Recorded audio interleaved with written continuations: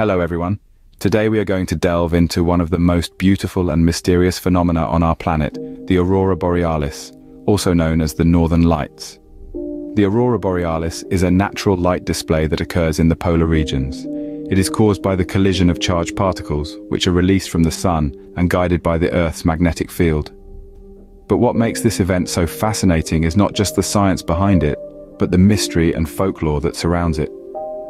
For centuries, the aurora borealis has been a source of awe and wonder.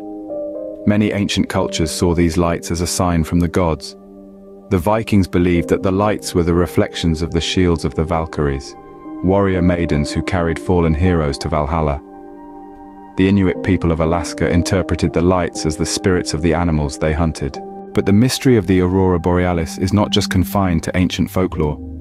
Even today, there are aspects of this phenomenon that remain unexplained by science. For instance, why do the lights appear in some areas more than others? And why do they appear in a variety of colors?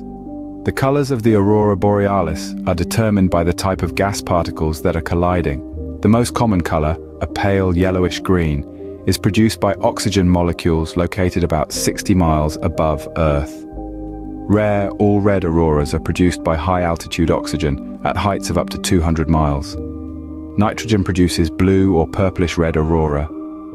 The lights of the aurora borealis appear in many forms from patches or scattered clouds of light to streamers, arcs, rippling curtains or shooting rays that light up the sky with an eerie glow.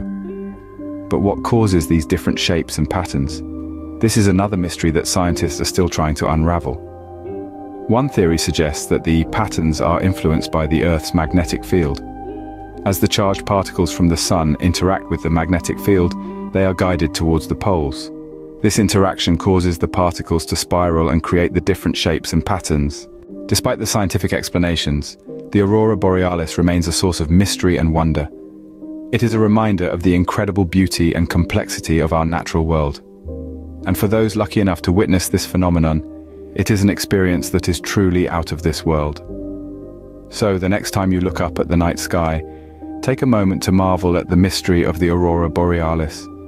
And remember, there is still so much about our world that remains unexplained, waiting to be discovered. Thank you for joining me on this journey into the enigma of the aurora borealis. I hope you found it as fascinating as I did. Until next time, keep exploring, keep questioning, and keep marveling at the mysteries of our incredible world.